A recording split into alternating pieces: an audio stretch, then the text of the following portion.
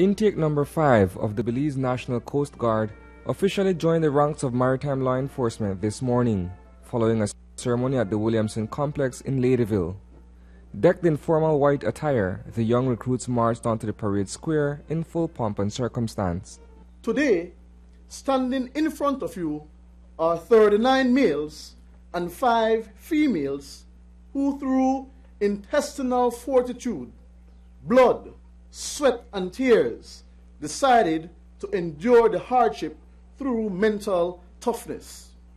Ladies and gentlemen, standing in front of you, 44 members of recruit intake number 5, intake number 5 on top.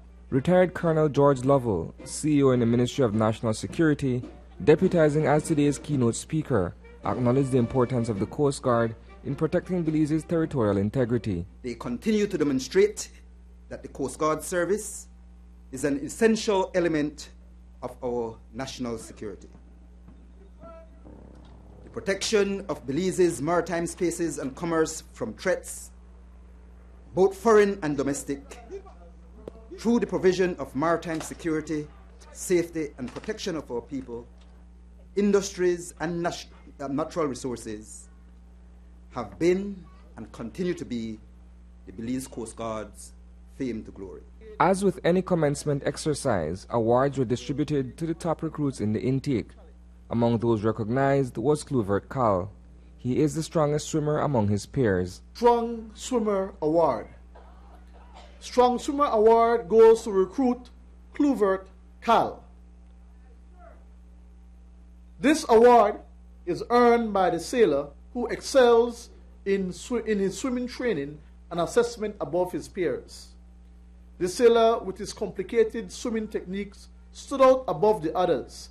He proved himself in the pool and the ocean to be the best at this challenge every time.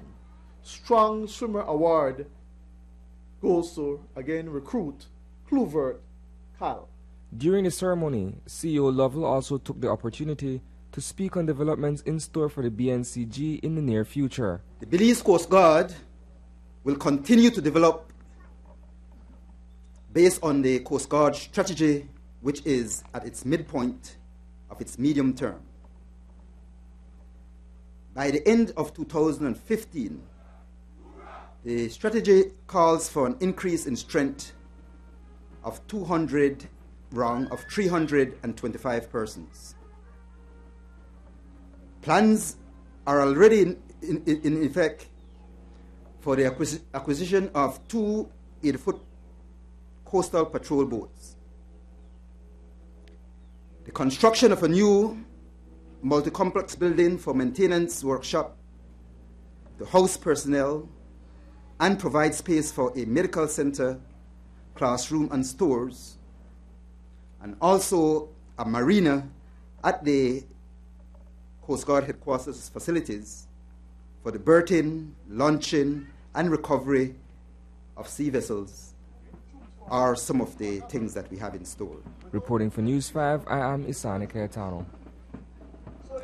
Coming up after the break, teachers union across the Caribbean gather in Belize for an annual conference.